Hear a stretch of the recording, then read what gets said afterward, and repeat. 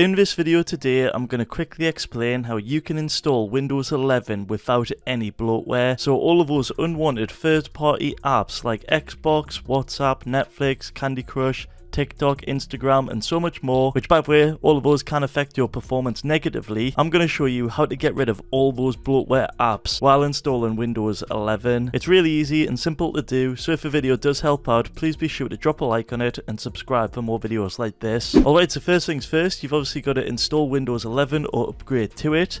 Um, a way you can do it is on Google, typing in Windows 11 like so, then giving it a search. If you go to the top link here, it should be a Microsoft.com link. It should say download Windows 11, give that a click. And then under the software download page, you can see there's a few different options. Now, I do highly recommend um, installing Windows 11 fresh from a USB drive, but for a lot of you that are upgrading, you can just click the Windows Installation Assistant. After downloading it, you can open it, but first you want to make sure that you can actually run Windows 11 on your system. And you can do this on Windows 10 by going on the start menu at the bottom left, then typing in PC health check and then click this app right here. And this app right here will basically allow you to run a scan to see if your PC does indeed meet the system requirements to run Windows 11. You can go ahead and check now. And just like that, it should say if you can or can't install Windows 11 with your current system requirements. As you can see on here, it says that it's great news and you can actually install Windows 11.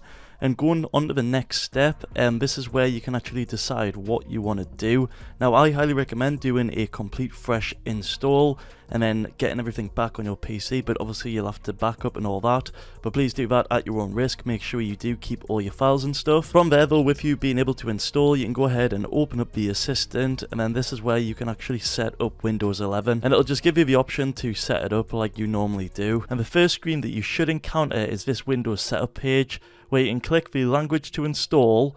On this, you want to go ahead and select English world, not English United Kingdom or United States or whatever you were going to choose, make sure to choose English world. And then once you go through the rest of the process to set up Windows 11 from fresh, this will result in the cleanest install ever for Windows 11. You can see that there's basically zero bloatware on the operating system itself. Before you can see all these different apps are coming pre-installed for reasons I don't know why, it's just super annoying. I mean obviously you can go ahead and individually remove each one, but after changing a simple language you can see that this results in a super clean optimal Windows 11, which is exactly what we want. And now you can go ahead and watch my next video where you can optimize Windows 11 for your PC. In addition to that, you can configure the best NVIDIA settings for the best performance.